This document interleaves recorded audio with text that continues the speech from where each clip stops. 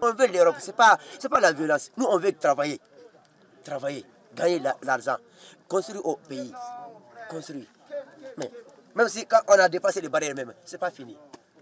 Ils vont nous bombarder avec les balles. Les balles blanches, vous-même vous connaissez. Mais vraiment, il y a beaucoup de violence.